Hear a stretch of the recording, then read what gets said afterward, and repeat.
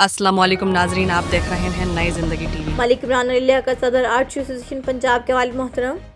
हाजी मलिक लियाकत अली मरहूम की पाँच सालाना बरसी की तकरीब। नुमाइंदा नई ज़िंदगी टीवी के मुताबिक मरूफ बिजनेसमैन शख्सियत मलिक इमरान अली लियाकत सदर आर्ट एसोसिएशन पंजाब के वालिद मोहतरम।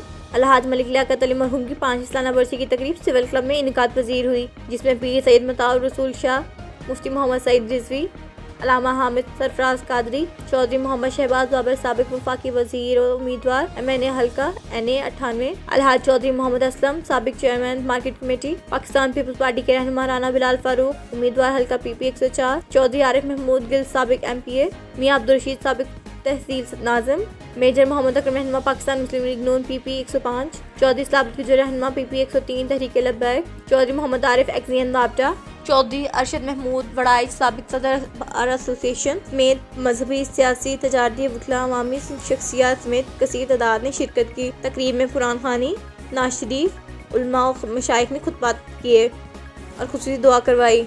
अलहाज मलिक मोहम्मद लियाकत अली मरहूम की दीनी और समाजी खदमात को तस्लीम पेश किया गया।